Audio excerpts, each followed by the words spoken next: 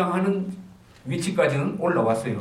오늘 신문을 보시면 태극기 집회와 촛불 시위, 시위 보도 지면이 똑같아졌습니다. 그 다음 단계는 뭐겠습니까? 태극기가 이기는 단계죠.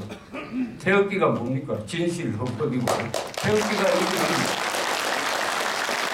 그 단계로 나아가는데 탄핵을 탄핵한다라는 이 책이 일정한 영향, 영향을 행사 하고 탄핵 사태가 합법적으로 합리적으로 어, 진실에 기초해 가지고 정의에 기초해서 어, 잘 마무리가 됨으로써 한국의 이 어린 민주주의가 굉장히 성숙했다는 것을 보여주는데 어, 조금이라도 기여를 하게 되었다면은 저는 출판인으로서 어, 크게 어, 감사하고 특히 김평우 변호사님과 김평우 변호사님을 지원해 주시는 분들 뜻을 같이 하는 여러분들의 공이라고 생각합니다. 감사합니다.